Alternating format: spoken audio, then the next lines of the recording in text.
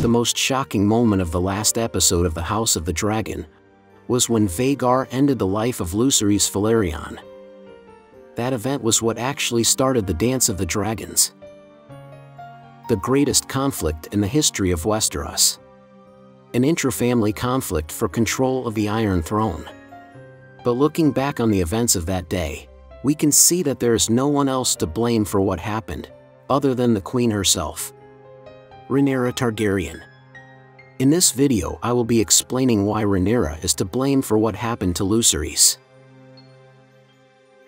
If you want to know everything related to the Game of Thrones universe, the House of the Dragon, don't forget to subscribe to this channel. Welcome to the Three-Eyed Raven. Before we start with this review, if you want to participate in our Funko Pops giveaway and the book Fire and Blood, from which the House of the Dragon was adapted, you just have to subscribe to this channel, like this video, and tell us which character you think should be king, and why. The winner will be revealed on November 20th. This last episode of the House of the Dragon opens with Rhaenyra talking to Luke. She explains to him that she was not prepared to become queen, but that it is a duty she has, and she must do it. Of course, these words were a foreshadowing of what would happen later, for although she was crowned, she did not know how to react as queen. Her emotions clouded her judgment. But what were those mistakes that led Lucerys into the mouth of the ancient dragon? The first reason why Rhaenyra is to blame for what happened is that after having a conflict in King's Landing over the legitimacy of her children, instead of staying close to her father, who was obviously in his last moments of life, she decided to take refuge in Dragonstone. By turning away from the King's Council and the Red Keep, she ended up leaving the way clear for the Hightowers for their ascension. This was the princess's first big mistake.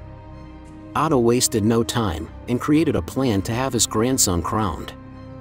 Apparently, Rhaenyra thought that she would be accepted as queen, as several families had already sworn allegiance to her name. But Rhaenys Targaryen explains to her what happened. She explains how the Hightowers usurped the throne, and how Alicent has tried to add her to her side.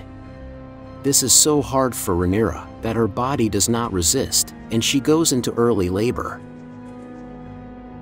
Apparently Rhaenyra was hoping that her friend would accept her as queen, Daemon understands what is happening and begins to enlist all his men, but Rhaenyra stops him. She does not want Daemon to make decisions while she is delivering the baby. This is the second mistake, as it allows the Hightowers to take a better position. Rhaenyra's lack of action in the early hours has led the Hightowers to make alliances with the people who once swore allegiance to the Queen. After Rhaenyra is crowned, then she begins to see who her allies are.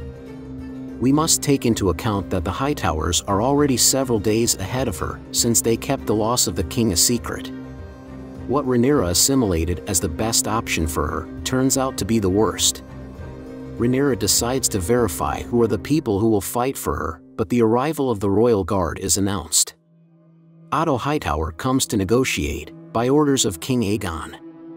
We could think that this was the end for Otto, since he would obviously be declared a traitor to the crown, and consequently he is supposed to lose his life there. Daemon was ready to use the Dark Sister, but Otto gives Rhaenyra a message from Alicent. A piece of paper from a story she used to read to her in childhood, when they were best friends. Rhaenyra begins to cry, because she is emotionally affected, and cannot make a rational decision at that moment. Rhaenyra asks Otto for some time to think things over. We can see that Daemon reacts surprised, because he can't believe Rhaenyra is acting that way. Worse, she starts telling Daemon about the prophecy, dreams and visions that the prince considers absurd. Daemon is frustrated, because he feels that Rhaenyra has become what Viserys was. Or at least she is acting the same way. She is being manipulated by the Hightowers, as the king was manipulated as well. As Daemon rightly said, the queen's job is to put an end to all rebellions. The passive attitude at the most critical moment makes Rhaenyra's side look weak. While Rhaenyra is thinking about the vision of Aegon the Conqueror, and the danger approaching from the north, she is not realizing that her throne is being stolen in front of her eyes. But none of Rhaenyra's decisions were as misguided as sending her sons as messengers to confirm whether the alliances were still intact. Rhaenyra has not realized that the Greens are already acting in war mode, and that by sending her children to places where they might change their allegiance, it puts them in great danger. It is illogical to think that Rhaenyra would send her 13-year-old son on a small dragon to Storm's End. Perhaps Rhaenyra sends them, because she remembers the time she asked Viserys to go to Dragonstone, but Viserys wouldn't let her. Lucerys was terrified, not only because of the idea of going to Storm's End alone, but because he would be the next heir in Driftmark. Lucerys was just a boy, and he was sent there alone. The rest is history. Aemond had arrived before Lucerys. The fact that Rhaenyra had betrothed Luke also worked against him. If only he had offered himself as husband to one of Borros Baratheon's daughters, the story would have been different. Alliances in wartime often change, but Rhaenyra was too inexperienced to know that. Luke ends up in Vhagar's mouth because Rhaenyra continued to maintain a passive attitude.